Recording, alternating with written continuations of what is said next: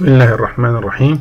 الصلاة والسلام على أشرف المرسلين سيدنا محمد الهادي الأمين وعلى آله وصحبه وسلم أجمعين. اللهم لا سهل إلا ما جعلته سهلا فإنك تجعل الحزن إن شئت سهلا. أبناء الطلبة الأعزاء طلاب الصف الثامن حياكم الله في لقاء جديد ودرس جديد من دروس مادة الاجتماعيات الكويت والعالم الإسلامي. ما زلنا مع المشكلات والتحديات السياسية التي تواجه دول العالم الإسلامي. واليوم بإذن الله تعالى نتناول مشكلة الحروب والدمار التي وقعت وتقع في كثير من دول العالم الإسلامي. أولا نحل هذا النشاط من خلال الصور الأمامي. أه تتحدث عن أي مشكلة هذه الصور. شايفين قبة الصخرة. وجزء من أراضي فلسطين ومسجد الأقصى علم فلسطين. وهنا أطفال الحجارة. طيب من هذه الصور لخص مما درست في موضوع مشاكل الحدود السياسية كنموذج آخر لدولة عانت من الحروب والدمار. نقدر نقول دولة إيه؟ مشكلة؟ فلسطين أحسنتم. تمام؟ مشكلة فلسطين مشكلة الكويت مشكلة البوسنة. والهرسك وهكذا كلها دول عانت من الحروب والدمار. ما هو الحدث التاريخي الذي حدث في دولة البوسنة عام 1992 طبعا عندنا فيديو لكنه في مشاهد صعبة للحرب التي حصلت في البوسنة والهرسك. ولكن ما حدث في البوسنة والهرسك في عام 1992 هي الحرب التي قامت وصرتها شنتها دولة صربيا على البوسنة والهرسك. أين تقع البوسنة والهرسك يا أولاد؟ موقعها وين؟ على خريطة العالم الإسلامي.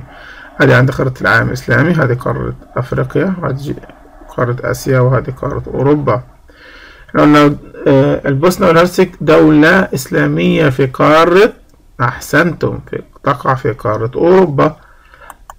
هذه مكان البوسنة والهرسك يا شباب. وطبعا هي دولة واحدة وليست دولتين دولة واحدة اسمها البوسنة والهرسك.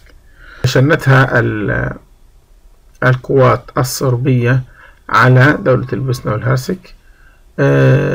في معسكر يسمى معسكر أومارسكا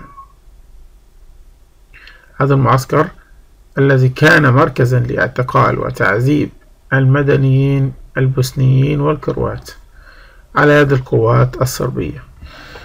إبان ما يعرف بحرب البوسنة عام 1992 استمرت هذه الحرب حتى عام 1995 وتسببت في إبادة أكثر من 300 ألف مسلم باعتراف الأمم المتحدة نفسها أن هذه الحرب أدت إلى مقتل أكثر من 300 ألف مسلم من دولة البوسنة. هي طبعا بعض الصور. للشهداء والأهالي الشهداء وهكذا.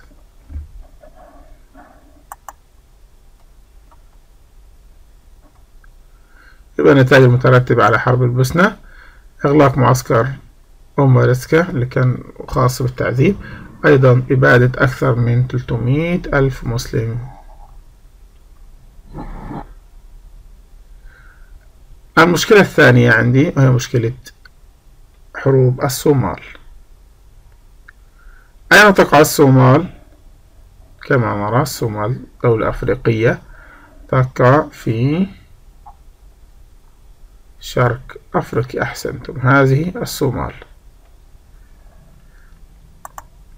طيب الذي حدث في الصومال هو نوع مختلف من الحروب وهي حروب أهلية حروب داخلية داخل البلد نفسها. آه تندلع بين طوائف في المجتمع الصومالي. عام 1900 وقعت هذه الحروب عام 1991 في الصومال التي أدت إلى حدوث مأساة كبيرة وفتكت بالشعب الصومالي. تمام ترتب عليها موجات من الجفاف التي تلت هذه الحروب والمجاعة التي اجتاحت البلاد.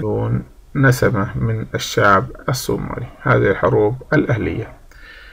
كما نرى هذه بعض الصور إلى التي تدل على أحداث الحرب والمجاعات التي حدثت بعد هذه الحرب. طبعا من أقوال السكرتير العام للأمم المتحدة في ذلك الوقت اللي هو أنطونيو غوتريس كان بيتكلم عن الأزمة اللي موجودة في الصومال.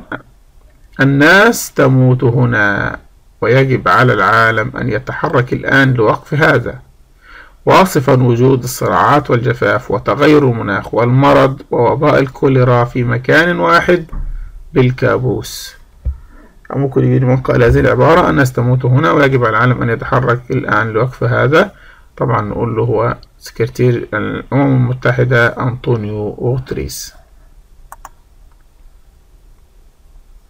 النتائج ترتبت على الحرب الأهلية في الصومال الجفاف والمجاعة وأيضا آه، مقتل أكثر من مليون نسمة. قم بعملية حسابية لتستنتج ما العام الذي حدثت فيه الحرب الأهلية في الصومال.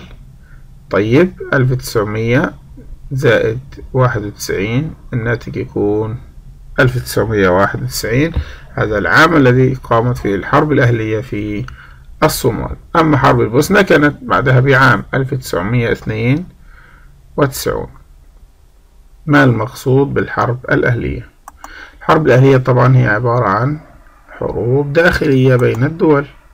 هي الحرب الداخلية في بلد ما. التي يكون أطرافها جماعات مختلفة من السكان. من قال هذه العبارة؟ الناس تموت هنا.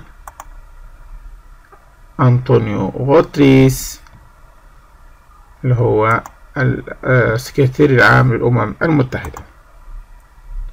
ما دور منظمة التعاون الإسلامي في حرب الصومال الأهلية؟ منظمة المؤتمر الإسلامي. ماذا فعلت؟ وما كان دورها؟ الطرف الإسلامي آه، تمثل في تقديم الدعم المادي مساندة قضايا المسلمين في المحافل الدولية. عندي طبعا ارتفاع عدد المشردين والنازحين في الصومال جراء الأزمة التي اندلعت كما نرى في الصور التي أمامنا. آه، قامت دولة الكويت بتقديم مساعدتها عبر عدة مراكز ومؤسسات خيرية من بينها جمعية الهلال الأحمر الكويتي. طيب ما دور منظمة التعاون الإسلامي في حرب الصومال؟ نجد أنها قامت بمد يد العون والمساعدات آه، وإنشاء منظمة خيرية لمساعدة الدول التي تعرض للحروب والمجاعات وتساعد بنهضة هذه الدول تمام ونحمد الله على نعمة الأمن والأمان في بلادنا وبلاد المسلمين أدامها الله علينا دائما وأبدا. وبذلك نكون قد وصلنا إلى نهاية درس اليوم. نترككم في رعاية الله على أمل اللقاء بكم في درس جديد. السلام عليكم ورحمة الله وبركاته.